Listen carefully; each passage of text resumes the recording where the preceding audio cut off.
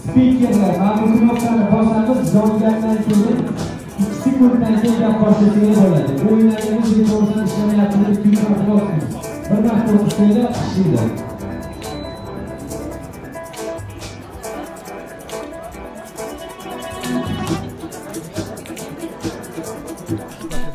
nomzodi ko'rsatilgan va parlamentga o'tgani yoki bo'lmasam ayrim fuqarolarimizni ma'lum bir e, zavod endi partiyalarda blogerlar nomzod qo'yish bo'yicha boya adolat partiyasidan aytib o'tdi.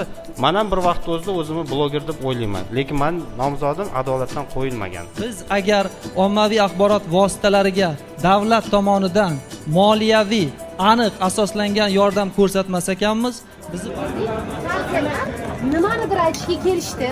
Lekin ular o'zi nima uchun bu yerda turganini yaxshi anglay olmadi. Chunki siz bu yerga agar biz hokimiyatga saylansak mana shu konkret muammoga mana shunday konkret yechim taklif qilamiz deb kelish kerak. Edi partiya muammolarni bu partiya bu mafkuraviy platforma undan mafkurani mafkura targ'ibotidan boshqa narsa kuta olmaymiz. Lekin ular agar hokimiyatga saylansa ana shunda qanday karomat ko'rsatadi shu haqida gapirish kerak. Mavzular ham umumiy bo'lib ketyapti masalaga masala konkret yo'q oxirgi savol jurnalistlar tomonidan juda yam to'g'ri qo'yildi va javob olinmadi. Olinmadi. Deyarli to'liq javob olinmadi vaqt jihatdan katta rahmat assalomu alaykum toshkentning zarafshon zalidamiz va hozirgina bu mamlakatda hokimiyatga intilayotgan besh rasmiy partiyaning demokratik debat deb atayotgan tadbiridan chiqdik. Yonimda o'zbekistonga judayam yaxshi tanish lekin afsuski uzoq yillar mobaynida katta ekranda ko'rmagan jurnalist dadaxon yoqubov judayam xursandman. Sizni bu tadbirda ko'rib bir birimizni uzoqdan ko'rib tanidik va gaplashdik. So'zsiz.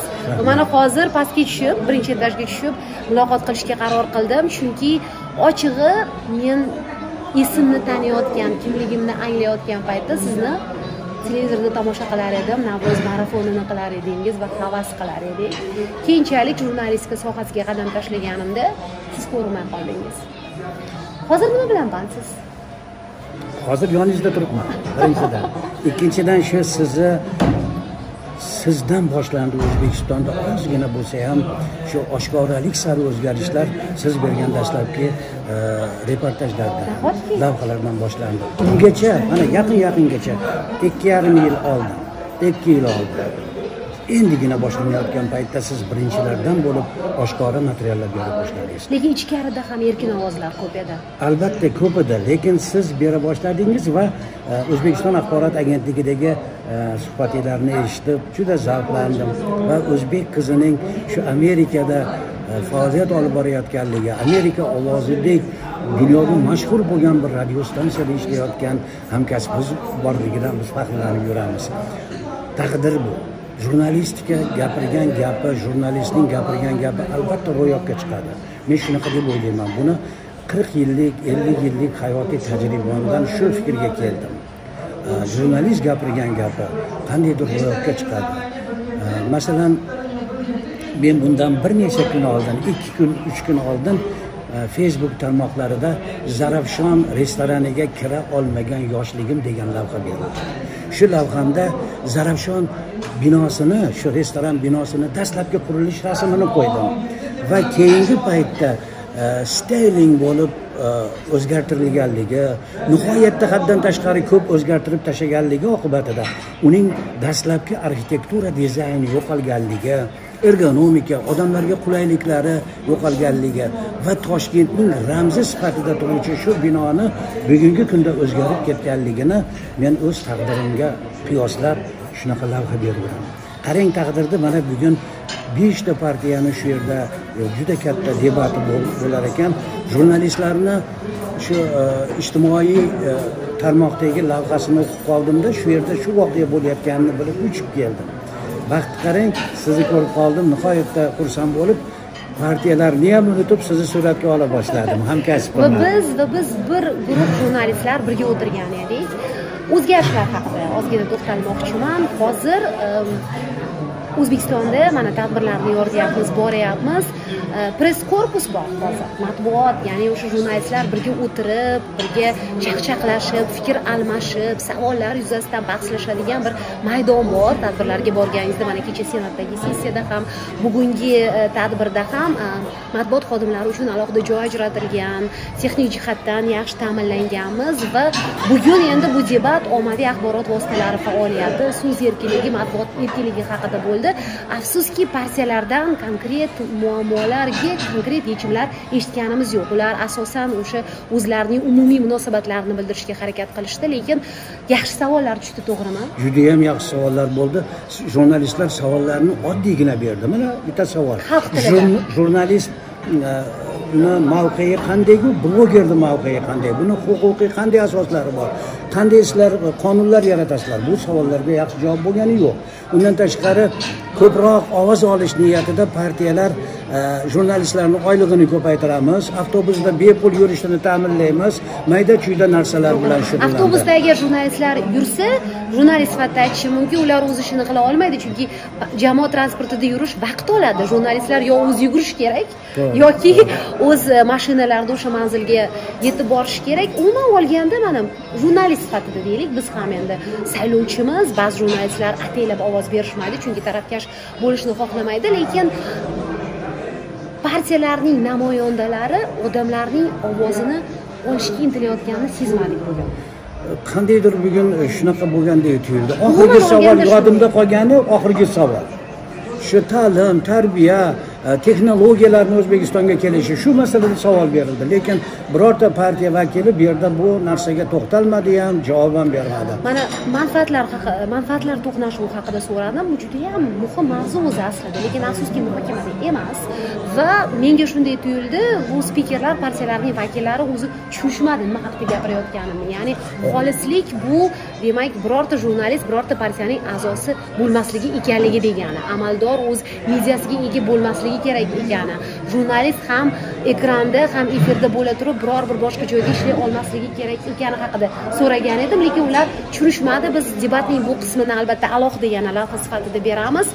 Sizga yana bir savol. Mana bugun o'zbekistonda yashayotgan tajribali jurnalist ustoz sifatida ichki senzura haqida ko'p gapiramiz. Siz qiziq gapni aytdingiz men o'zimni o'zim senzura qilib turaman degan. Bu tabiiy narsa deyapsiz to'g'rimi? Albatta tabiiy narsa. Birinchidan meni yoshimdagi jurnalist e, elni oldiga chiqib bir fikrni ayta olishi u fikrdan odamlarga bir ma'ni foyda bo'lishi kerak. Gapirayotgan gapimdan jamiyatga qandaydir bir foyda bo'lmasa bir turtki bo'lmasa gapirishimni keragi yo'q. Ikkinchidan jurnalistlarni bilim darajasi masalasiga texnologiya rivojlangan butun dunyo bizdan ancha bizdan deganimiz bizni mamlakatimizdagi jurnalistlardan umuman jamiyatdan ancha oldinga ketgan paytda bilimlarni mukammal qilmasdan turib bilimlar haqida gapirish juda qiyin. Demak o'ylab gapirish. o'ylab gapirish va bilim bilan gapirish. Bu bitta Yetti o'lchab bir kesishga yo'q yo'q. Masalan gapirilayotgan sohani bilimini mukammal bo'lmasa ham ozmoz bilish. Esingizda bormi? Reyter agentligini bir muxbiri ruzveltdan intervyu olganligi haqida ko'p gapirishadi. Ertalab borib ob havoni yaxshiligini gapiradi ruzveltga undan keyin shunaqa paytda otda aylanish nihoyatda yaxshi degan e, replika tashlab qo'yadi. Buni natijasida kayfiyati ko'tarilib prezidentni prezident nihoyatda yaxshi fikrlarni aytadi va yechilmayotgan masalaga yechimni yechib beradi. Qarang jurnalist qanday kuchli bo'lishi shart. Gapirtira oladi, ha bilimli bo'lishi Uch- uchinchisi ma'naviy axloqiy jihatdan o'shanga munosib bo'lishi kerak. Keyingi paytda albatta e, boshimizdan ko'p tashvishlar o'tdi. Ularni bir chekkadan aytish og'ir lekin e, davlatimiz rahbarining e, bergan imtiyozi tufayli hozir ozod bo'lib odamlarni ichida yana ish boshladim oltmish olti yoshda meni ishga qabul qilishdi oliy ta'lim vazirligi. Chunki televideniyaga juda ko'p urindim lekin hanuz meni ishga olishmaydi. Masalan tarixiy telekanalda men yaxshi ishlashim mumkin. Chunki yangi kanal. Ha yangi kanal. Chunki kino ko'rsatuvlar muharririyatida taxminan yigirma besh yil ishlaganman. O'sha yerdagi filmlar kartotekasi o'sha yerdagi filmlar qaysi raqamda qaysi e, joyda saqlanishigacha bilaman. Bular e, rahbarlardan biri e, suhbatda kino rahbarlaridan biri aytib qoldiki biz moskvadan o'zbeklarni filmlarini ko'chirib kelishimiz kerak shu o'ttizinchi yillardagi qirqinchi yillardagi filmlarni deb aytyapti. Biz bu filmlarni allaqachon ko'chirib kelib omborlarga joylab qo'yganmiz. O'sha Ya'ni buni bilishmaydi. buni bilishmaydi. Shuning uchun siz u yerda ishlamoqchiman deb murojaat qildingizmi? murojaat qildim. E, prezident apparatidan tortib raisgacha murojaat qildim va e, javobingiz o'zingizga siylov degan bir e, tanqidiy maqola bilan e, facebook kanalida chiqish qildim va e, yo'q. Men hali natija olganim yo'q. Bular bilmayman sababini Ya'ni tushunolmayman hali javob berishmadi. yo'q lekin ishlash niyatim bor. Bizni yoshimizdagi yoshi katta jurnalistlarga ham ish bor. Chunki ijtimoiy tarmoqlarda qatnashar ekanman yonimdagi muxlislar birga do'stlashayotgan e, blogerlar o'z o'zidan bilimlarini oshirib boryapti men bilan teng suhbatlashishga harakat qilishadi va chiroyli materiallar beradi. Masalan ilhomjon qosimov rustam ikromov mana deputatlikka nom- nomzodlari qo'yildi. Keyin to'g'risini aytaman hozir bu yerda hech yashiradigan sir yo'q. Men ko'p yillar davomida ismat xushev bilan kanadadagi muxbir bilan e, qandaydir e, yozuv chizuvlarimiz Hamkorlik qildingiz? hamkorlik ijodiy hamkorlik qildik.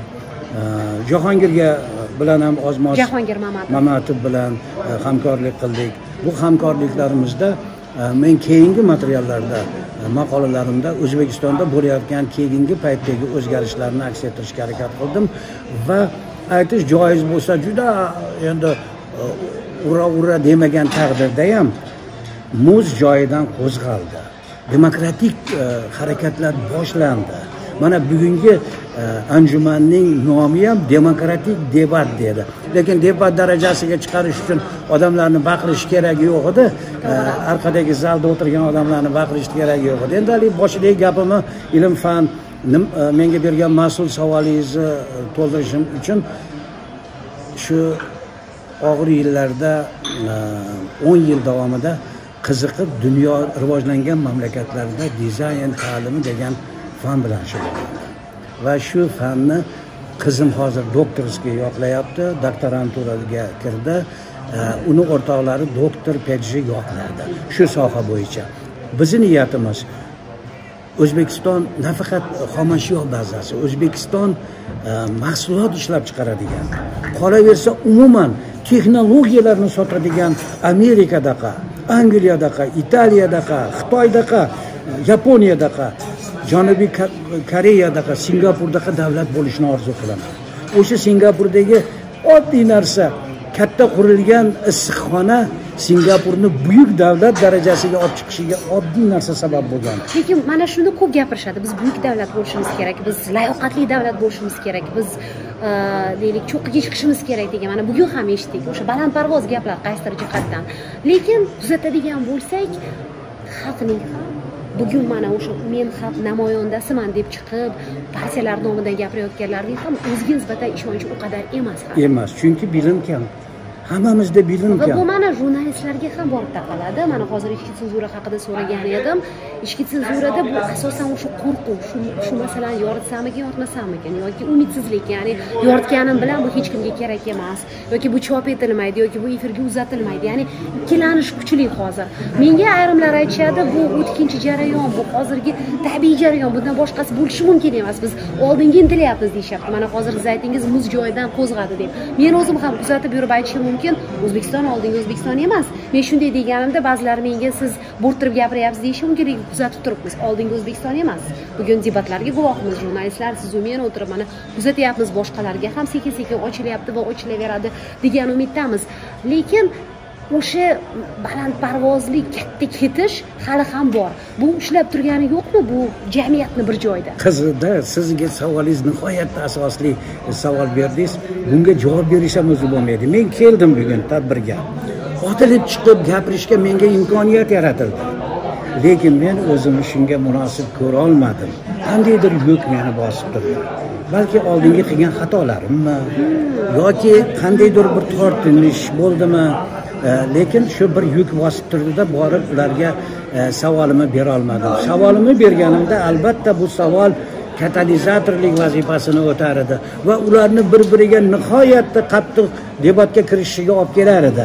Buni bilib turdim lekin qandaydir yuk meni bosib lekin jurnalistlarni kuzatdingiz? Bizning oldimizda albatta o'tirdingiz endi bo'lar ish bo'ldi aytaymi sirni go'yo men kanadada yurgan kishi bo'lib uyimizni yerto'lasida e, o'n yil o'tirgan edim shuning uchun bo'lgan o'zgarishlarni odamlardagi gaplarni chuqur bilmasdan turib fikr aytishga ozgina cho'chiyman. To'g'ri. Lekin yosh jurnalistlar haqida qanday fikrdasiz bugun mana savol bergan hozirgi dinamika haqida. Yosh jurnalistlar ham endi uyg'onishyapti mana hozir ko'chaga chiqdik. Shu bergan savollarini ekranda berishganda qaniydi siz bilan biz mana qo'limizdagi telefonimizda yozib oldik. Haligi deputat eng mashhur deputatni ham ijtimoiy tarmoqlarda o'sha rustamjonmi ismlari Kusherbayev. kusherbayev. Eng mashhur jurnalistlardan biri. Mana o'sha kishi ham o'sha sahnada e, xuddi ko'chada gapirgandek gapirgan bo'lganda o'sha sizni aytgan marraga yetgan bo'lardik o'sha ichki senzuramiz bor bor. E, buni ko'p tanqid qilishadi. Buni ketishi uchun haligi men aytgandaqa faoliyatshunoslik fanini men tadbiq qildim deganligim aytib berdimu shuni shu jurnalistlarimiz faoliyat shuni o'z ishini loyihalay bilishi kerak. Shu yerga kelishdan oldin nima savol beraman? Kimga qanday munosabat qilaman? Bu partiyalar o'rtasidagi farq nimada? Bularni dasturlaridagi farq nimada? Ekologiya masalasi daraxtlar kesilayotganini prezidentimiz ko'targandan keyin hamma deputatlar ko'tara boshladi. Ungacha biz endi ko'tardik blogerlar kesilgan daraxtlarni boshqalarni. Ekologiya jihatdan toshkent bekorga men zarafshondan boshlamadim. Juda mana shunaqa e, turli xil qurilish materiallari e, olib kelib shaharni steyling qilishdi. Dizaynda bu qayta e, binolarni ta'mirlash deyiladi. Hamma silliq narsa go'zal bo'lmaydi.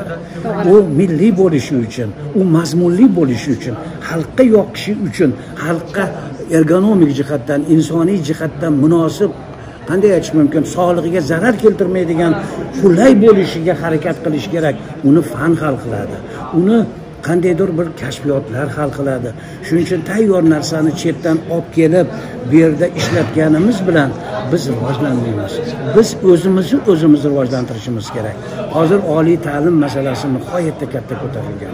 Oliy ta'limdagi korrupsiyaga qarshi kurash qattiq avjiga chiqdi. Biz alohida seminarga tayyorgarlik ko'ryapmiz. Men sizga yuqorida aytdim oliy ta'limni rivojlantirish va siz hozir shu sohada ha ishlayapsiz vazirlikda texnologiyalar va ilg'or e, texnologiyalarni tatbiq etish markazi tuzilgan oliy ta'lim vazirligida. Biz o'sha yangi yo'nalishlarni fanlarni fan yo'nalishlarini yaratamiz. Shu yerda shu masalaga biz tayyorgarlik ko'ryapmiz. Yaqinda ma'naviyat haqida e, konferensiya o'tkazdik. Ma'naviyat gap bilan tarbiya bilangina kirib qolmaydi yurish turishimizda yashash tarzimizda u bizni ruhimizga va tanamizga umuman borligimizga javob bo'ladi. Shuning uchun dizayn ta'limi kiyinishni bilgan odam qanday kiyim kiyadi?